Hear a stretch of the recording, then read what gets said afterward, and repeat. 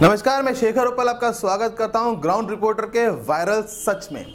Social media यानी कि वो प्लेटफॉर्म जहाँ पर आप आसानी से अपनी सूचना दूसरे कोने तक पहुँचा सकते हैं, लेकिन इतनी अच्छी सुविधा होने के बावजूद भी लोग इसका किस तरह से फ़ायदा उठाते हैं, ये आजकल आम हो गया है। कोई भी खबर हो, कोई भी भ्रम फैलाना हो, सबसे पहले सोशल मीडिया पर दाव लगाना होता है। किसी को अपमानित करना हो या किसी का नाम बढ़ाना हो दाव खेला जाता है सोशल मीडिया पर। क्योंकि सोशल मीडिया एक ऐसा प्लेटफॉर्म है जो हर छोटे बच्चे से लेकर बड़े बुज़ुर्ग आदमी तक के हाथ में रहता है। मोबाइल पे सोशल मीडिया पे एक्टिव रहना आजकल ट्रेंड बन गया है। वहीं सोशल मीडिया पर आजकल एक तस्वीर बहुत वायरल हो रही है। इस तस्वीर में दिखाया गया है कि किस तरह से कमलनाथ राजीव गांधी को अपनी गाड़ी में बैठाकर ले जा रहे हैं। साथ ही में एक लाइन भी जोड़ी गई है जिसमें लिखा गया है कि किस तरह से देखिए एक ड्राइवर मुख्यमंत्री बन गया। साथ में यह भी दर्शाया गया है कि किस तरह से कमलनाथ एक ड्राइवर होते हुए अब दो अरब से ज़्यादा की संपत्ति के मालिक हैं। वहीं इसकी खास बात यह है तस्वीर की कि इसमें एक पंच लाइन जोड़ी गई है। साथ में लिखा गया है कि यह तस्वीर बहुत ही मुश्किल से बरामद की गई है, यानी कि बहुत मुश्किल से खोज कर निकाली गई है। ग्राउंड रिपोर्टर की टीम ने जब इस तस्वीर की तहकीकात करना चाहिए तो सबसे पहला हमारे सामने सवाल था कि आखिर ये तस्वीर आई कहाँ से?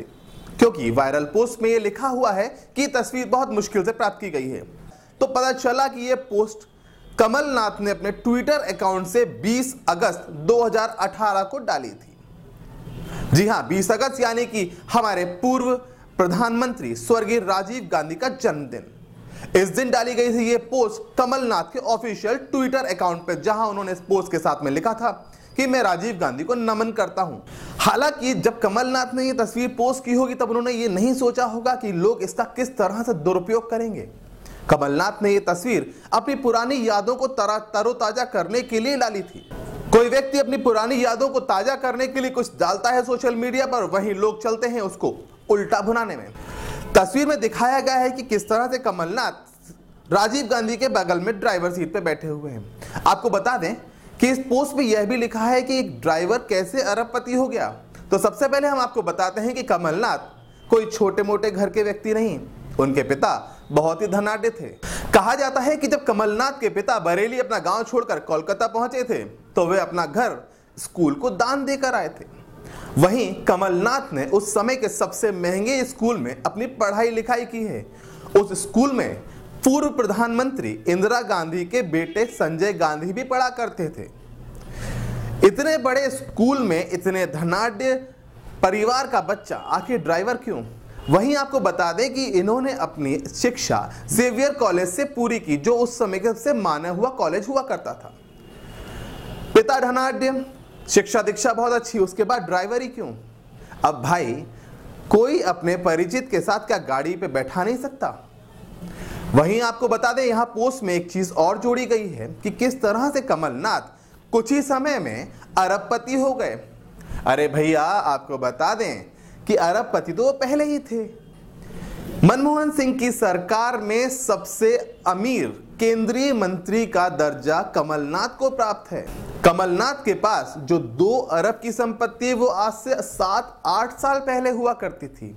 यहाँ आपको ये भी बता दें कि 2011 में जब उनकी संपत्ति का आंकलन, यानी कि कमलनाथ की संपत्ति का आंकलन किया गया था, तब वो दो सौ तिहत्तर करोड़ थी। वहीं 2014 में चुनाव आयोग को दिए हलफनामे में उन्होंने अपनी संपत्ति को एक सौ सतासी करोड़ बताया। भैया आप तो समझ गए होगे ना, इतना करोड़पति आदमी।